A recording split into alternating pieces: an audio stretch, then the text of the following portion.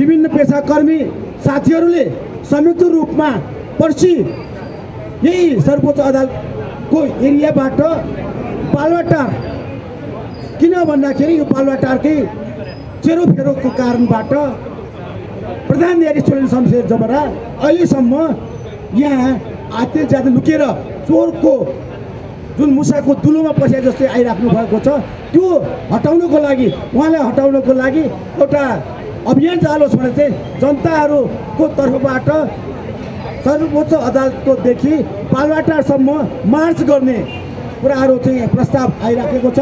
पर्सि नौ गते दुई बजे।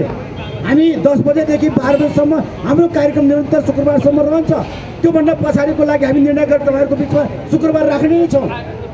र अहिले जनताहरूको तर्फबाट नागरिकहरूको तर्फबाट पनि यो प्रस्तावहरू आइराखेको हुनाले त्यो ठाउँमा पनि उहाँहरूको किसिम कार्यक्रम आयो भने हामी स्वागत गर्नेछौँ। नागरिकहरूको लागि नै न्याय चाहिएको हो। कानुन व्यवसायको लागि मात्र होइन न्याय चाहिएको जनताको लागि हो। जनताहरू सडकमा अब हिजो हामीले तपाईँहरू सडकमा आएर न्यायपालिकाले अन्यथा नगर्नुहोस् भनिरहेका थियौँ। अब त न्यायपालिकामा भ्रष्ट प्रधान न्यायाधीश भइसके पछाडि भ्रष्ट प्रधान न्यायाधीशको विरुद्धमा नागरिक उठेको सुख अवस्था छैन।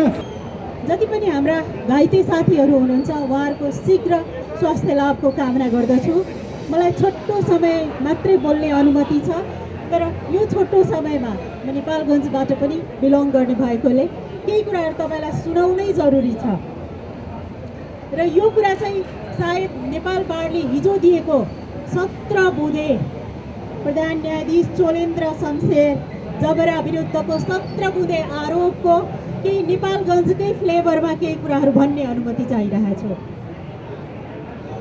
इंसाफ इंसाफ जालिमों की हिमायत में चला गया। ये हाल है। कौन अदालत में जाएगा? चोलेन्द्र शमशेर जबरा यो सुन्नुहोस् तपाईँ कहाँ न्याय माग्न कोही पनि आउनेवाले छैन अहिले हामी सम्पूर्ण कानुन व्यवसायीहरू प्रतिबाट कोही त सुद चुकाए तपाईँ हामीले ऋण लिन्छौँ त्यसको ब्याज चुक्ता गर्छौँ कोही त सुद चुकाए कोई तो जिम्मा ले उस इन्कलाब का जो आज तक अधुरा है। मलाई पढ्न आउँदैन यी कुराहरू तर पनि आज यो पढ्न बाध्य भएको छु। उस इन्कलाब का जो आज तक अधुरा है यो प्रतिनिधि सभाले जिम्मा ल्याओस् के हो वास्तविक रूपमा एउटा प्रधान न्यायाधीशलाई भ्रष्टाचारको मुद्दा लागेको छ तर पनि सम्पूर्ण विधायिका मौन छ आज अन्त्यमा प्रधान न्यायाधीश चोलेन्द्र शमशेर जबरा, सजा से बचने की अच्छी अपील करते हैं। पुराने लोग पुराना वकील करते हैं। यहाँ वरिष्ठ बस्नु भएको छ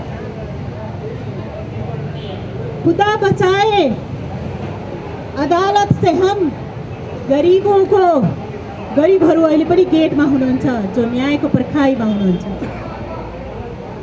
ये खुदा जो ये खुदा तो जलिल है। ऊ त्यहाँ बस्नु भएको छ खुदा हाम्रो अहिलेलाई। चोलेन्द्र शमशेर जबरा खुदा बन्नु भएको छ।